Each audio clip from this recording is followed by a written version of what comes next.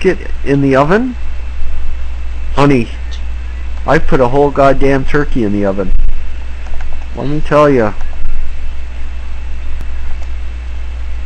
And I've stuffed it a few times.